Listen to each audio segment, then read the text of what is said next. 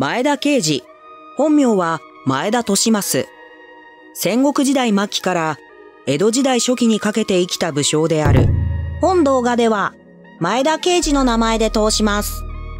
前田慶次については資料が少なく、その生涯は謎に包まれている。伝わる逸話の多くは、前田慶次の豪快な性格を表すものが目立つ。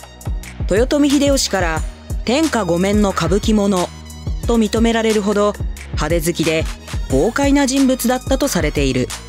そんな豪快な武将、前田慶次の生涯を漫画で振り返る。資料が少ないので、後世創作された逸話多めです。チャプター1豪快な刑事前田刑事の出生については明らかになっておらず幼い頃に尾張の国愛知の荒子城主前田利久の養子として育てられたと言われている。刑事いずれお前が前田家を盛り立てていくのだ。はい。刑事は幼少から気性が激しく豪快な性格であった。うわー。ひい、な、なんで追いかけてくんの？前田利久の弟には前田利家がいた。刑事から見れば、叔父にあたる。利家は奔放な刑事をたびたび注意していたという。刑事、あまり奔放なことをするな。はあ。実はこの人も、なかなかに奔放な性格。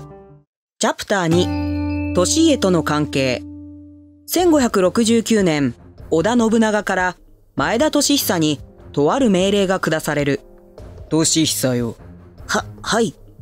家督を利家に譲れ。の、利久は病弱で実子がいなかったからという理由であった。養子である刑事は家督継承者にふさわしくないと判断されたのだ。利久と刑事は荒子城の退去を強いられる。すまない、刑事。こんなはずでは。おかしいのは信長様と利家の方だ。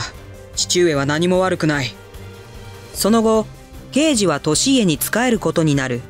刑事、これからは俺の元で働いてもらう。ち、お前は礼儀をわきまえろ。これは信長様の命令なのだ。利家と刑事、二人の関係は良好とは言えなかった。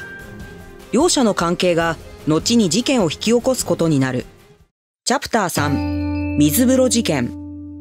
1582年、本能寺の変。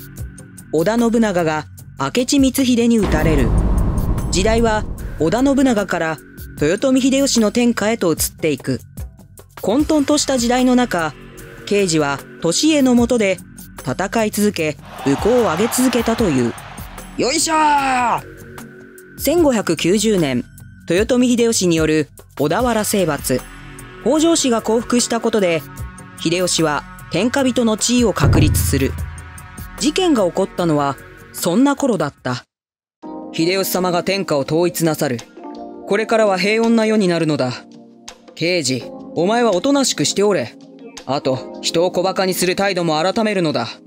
おじ上、これまでご心配をかけて申し訳ありませんでした。け、刑事これからは、心を入れ替えて真面目に生きるつもりです。刑事、ようやく分かってくれたんだな。おじ上、茶を一服もてなしたいのですが、我が家に来てはいただけないでしょうか。うんうん、喜んで向かうぞ。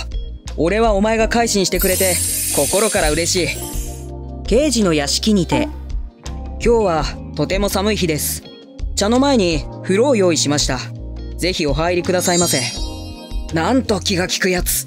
それでは風呂に入らせてもらうとしよう。刑事の言葉を聞き、利家は着物を脱ぎ、湯船に浸かる。人は変わるものだな。湯船は氷のような冷水であった。あんのバカに騙されたわ引き連れてこい激怒した利家は、刑事に説教をしようとするが、その頃、刑事は利家の愛馬、松風を奪って国を去っていた。え？わっはっは利家のアホめこれで俺は自由だ刑事は突如として前田家から逃亡。行方をくらましたのであった。チャプター4フリーター生活前田家を後にした刑事は京都に向かい、そこで浪人暮らしを始める。ここで俺は自由に暮らす。浪人時代の逸話がいくつも残っている。俺の名前は前田慶次。これは我が相場の松風である。年家から奪った馬。慶次は相場松風を贅沢に装飾して市中を練り歩いたという。慶次は京都での生活で多くの文化人と交流をしたという。豪快な性格の一方で繊細な感性も持ち合わせていた。それからしばらくして、刑事は上杉家に仕えることになる。影勝に仕える際、泥のついた大根を3本持参する。この大根のように、見かけはむさ苦しいが、噛みは噛むほど地味の出る拙者でござる。奇抜な自己紹介来たそんな自己紹介だったという逸話が残る。天下広しといえども、真に我が主と頼むは、合図の影勝を置いて他にあるまい。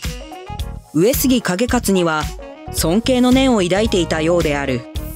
上杉家家臣、直江兼次とは馬が合い、仲良くなったという。刑事はいい歌を読むな兼次もなかなかやるなそんな中、天下分け目の対戦、関ヶ原の戦いが起こる。チャプター5、戦いの終わり。